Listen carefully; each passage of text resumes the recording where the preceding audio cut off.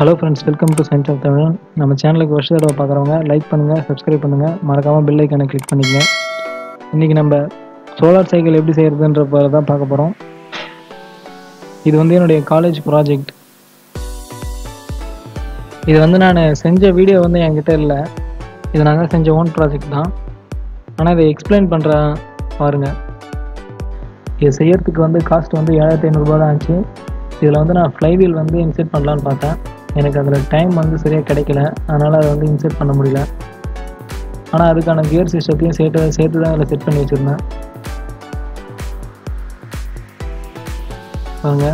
இது ரெண்டும் twelve volt battery அந்த மோட்டார் வந்து டிசி மோட்டார் நானூற்றி ஐம்பது வாட்டு செயின் கனெக்ஷன்ஸ் எப்படி இருக்குன்னு பாருங்கள்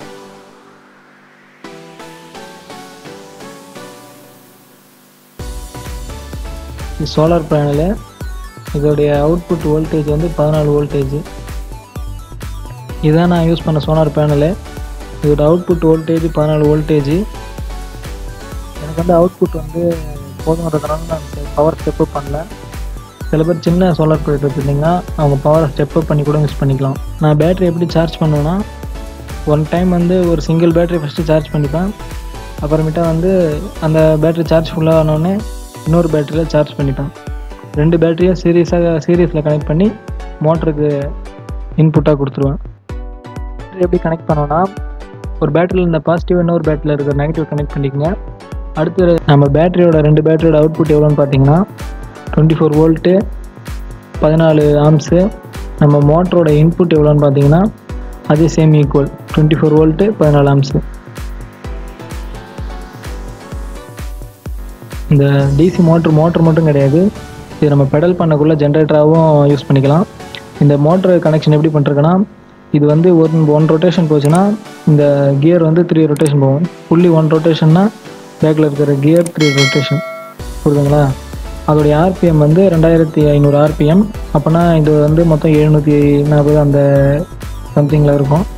இது வந்து லோடு வந்து ஃபுல் லோடு ஒரு எழுபத்தஞ்சு கிலோ லோடில் ஒரு நாற்பது கிலோமீட்டர் ஸ்பீடில் போகும். இந்த சின்ன புள்ளி வந்து சும்மா ஒரு பேலன்ஸுக்கு மேலே இருந்து வர்றதுனால கிராவிட்டியில் வந்து ஆடும் லைட்டாக அதனால் பேலன்ஸ்க்கு மட்டும்தான் அது. மோட்டர் எந்த இடத்துல தான் ஃபிக்ஸ் பண்ணணும்னு இல்லை. நமக்கு எந்த இடம் வேணுமோ அந்த இடத்துல ஃபிக்ஸ் பண்ணிக்கலாம். சோலார் பேனலை நீங்கள் வெயிலில் போகக்குள்ள டேரெக்டாக கூட கனெக்ட் பண்ணிக்கலாம். அது மட்டும் இல்லாமல் நீங்கள் பெடல் பண்ணிக்கிட்டே வரக்குள்ள மோட்டரையும் வந்து ஜென்ரேட்டாக மாதிரி அந்த பேட்டரி அந்த பவரையும் பேட்டரியில் ஸ்டோர் பண்ணிக்கலாம். உங்களுக்கு சுவிட்ச் போட்டு காட்டுறேன் எப்படி ரொட்டேஷன் ஆகுதுன்னு பாருங்கள்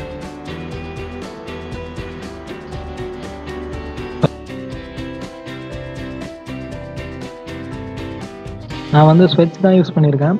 ஆனால் நீங்கள் எலக்ட்ரிக்கல் ஆக்சிலேட்டர் கூட யூஸ் பண்ணிக்கலாம். நான் இதை ஃபுல்லாக கம்ப்ளீட் பண்ணல. இதில் வந்து ஃப்ளை வீலும் வைக்கிறது தான் என்னுடைய பிளானு அது என்னால் அந்த குறிப்பிட்ட டைமுக்குள்ளே கம்ப்ளீட் பண்ண முடியல. அதுக்கு தான் இன்னொரு கேர் சிஸ்டமாக அதில் பின்னாடி செட் பண்ணி வச்சுருந்தேன். பாருங்கள் எப்படி வருதுன்னு. இது காலேஜ் ப்ராஜெக்டில் இருக்குது ப்ராஜெக்ட் ரிவ்யூவில்